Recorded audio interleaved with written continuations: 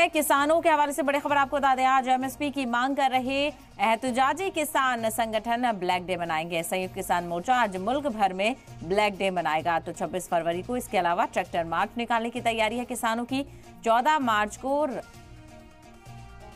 14 मार्च को रामलीला मैदान में भी एहतजाज करेंगे। 26 फरवरी को ट्रैक्टर मार्च निकालेंगे किसान। मुजाहिरीन, किसान तंजीमों से जुड़े लोग आज ब्लैक डे मनाएँगे। तो एमएसपी की मांग को लेकर लगातार किसान बॉर्डर्स पर डटे हुए हैं और खासा टकराव भी देखने को मिल रहा है। सिक्योरिटी फोर्सेज की तरफ़ से भी पुख्ता तैयारी की गई है किसानों को दिल्ली कूच करने से रोकने के लिए। तो वहीं दूसरी तरफ़ सरकार के खिलाफ 26 फरवरी को ट्रैक्टर मार्च निकालने की हिकमत अमली किसानों की तरफ़ से बनाई गई है। ऐसे में देखना बेहद अहम होगा कि किस तरह से 26 मार्च को ट्रैक्टर मार्च करते हुए किसान नज़र आएँगे। दूसरी तरफ़ आज ब्लैक डे मनाया जाएगा और अपनी मांगों को लेकर आ, सरकार के खिलाफ जिस तरह से जो रवैया है सरकार का किसानों का जिस तरह से कहना है कि सरकार उनकी बातों को नहीं मान रही है और जो वादा उनसे किया गया था उसको अब तक पूरा नहीं किया गया है। तो संयुक्त किसान मोर्चा आज मुल्क भर में ब्लैक डे मनाएँगे। तो वहीं आज इसी मामले को लेकर किसानों की तरफ़ से प्रेस कॉन्फ्रेंस की जा रही है ये सीधे लिए जाते हैं। जुम्मेवार मंत्री को ऐसा बोलना चाहिए। वो बोल रहे हैं, आगजनी हिंसा नहीं होनी चाहिए। तो किन्होंने की भाई? कुछ सबूत तो देश की पटल पर रखे। इधर तो आप उधर से शेलिंग कर रहे हैं। आपकी फोर्स ने कल मान लिया भी हम रबट बुलेट चला रहे हैं। शेलिंग तो पूरी दुनिया देख रही। तो अगर रबट बुलेट आपकी पुलिस ने माना तो ये भी मान लेंगे भी हमने मेन गोली जो बुलेट है, असली बुलेट है, वो भी चलाई है। तो ऐसा है, आप अपनी बात को क्यों छुपाते हैं पूरी दुनिया से? और दूसरी बात, भारत सरकार ने एक्स सोशल मीडिया को निर्देश दिए हैं भी जितने भी एक्स के ऊपर किसानों की जो भी पोस्ट डलती है, उसे देश भर में डिलीट कर दें। बेशक एक्स ने इंटरनेशनल लेवल पर इसको डिलीट करने से इनकार दिया, लेकिन देश भर में जितनी हाँ एक्स मीन्स ट्वीट जो एक्स ट्वीट है, उन्होंने कहा, अब देश भर में हमारी कोई भी वीडियो, कोई भी अपनी बात नहीं जाएँगी तो हम केंद्र सरकार से, प्रधानमंत्री से इसका जवाब चाहेंगे। कि भाई, हम क्या ऐसा बोल रहे हैं जिस पे देश को आपत्ति है, देश सुनना नहीं चाहता? तो दुख की बात है भी हमारी आवाज़, जो कुछ आप यहाँ दोनों बॉर्डरों पर कर रहे हैं, जो कुछ हरियाणा में फोर्सेस कर रही है, वो देश ना देखे, इसलिए जो एक्स ट्वीट है, उसके ऊपर आपने पाबंदी लगा दिए गैर मानवीय है।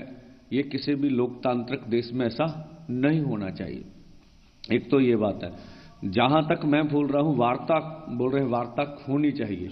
ये मीडिया में एक तरफा बयान केंद्र के पेश किए जा रहे हैं। हम बोलते हैं, हम तो भाई पर्दे के पीछे पंजाब के अधिकारी आते हैं, वार्ता की बात करते हैं। हमने तो एक ही रिक्वेस्ट की। माननीय प्रधानमंत्री से भी आप एक बयान तो दें कि हम एमएसपी ग्रंटी का कानून बनाने के लिए तैयार है, बनाएँगे।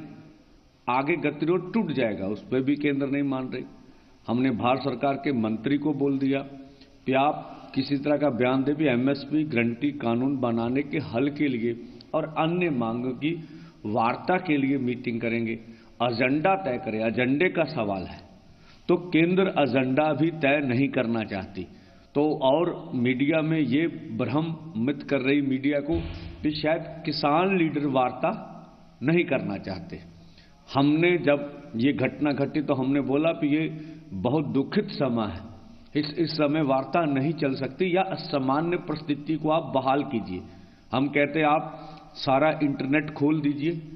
रस्ते खोल दीजिए, सामान्य व्यवस्था बहाल कीजिए, कुछ भी ऐसा होने वाला नहीं, हम देश के किसान हैं, खेत मजदूर है, ये हमसे देश चलता है, और आप इससे पीछे हटिए। लेकिन केंद्र बाधित है कि हम आपको जमहूरी ढंग से, पीसफुली ढंग से रोज प्रोटेस्ट करने का अधिकार नहीं देंगे, जो हम हम सामने आ रहा। जो अभी कल शुभकरण सिंह की जो मौत हुई थी, उसके बाद पंजाब सरकार से वार्ता जो शुरू हुई थी उस वार्ता में जो भी अधिकारी भेजे गए थे, दुखद बात है, जब भरोसा आप देते हैं, आप भरोसे पे क्यों नहीं खड़े उतरते? या तो अधिकारियों में कोई कमी हो सकती है, या कहाँ कमी है, ये तो वो जान सकते हैं।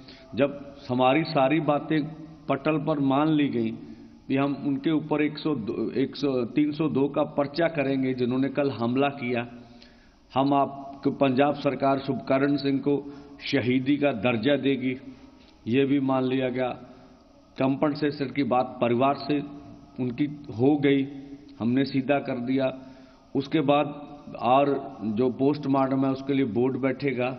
ये बात भी हो गई। आप वीडियोग्राफी हम करेंगे। ये बात भी हो गई। जब भी, जब सब बातों के ऊपर सहमति बन गई, आपने कहा, ठीक है, ये कल चार बजे सहमति बनी है। आज चार, अभी बारह, चौदह घंटे, साढ़े चौदह घंटे हो गए, पंजाब सरकार कोई जवाब नहीं दे रही है। तो शुभकरण सिंह का जो शहीदी पार्थक शरीर है, वो अस्पताल में पड़ा हुआ है।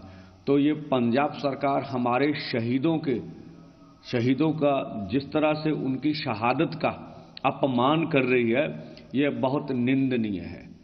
अब बात इस पर अटकी है वो इस तरह की बातें कर रहे हैं कि जहाँ पर कल घटना हुई, इसकी पड़ताल करनी पड़ेगी कि ये जो जगह थी वो पंजाब या हरियाणा में है।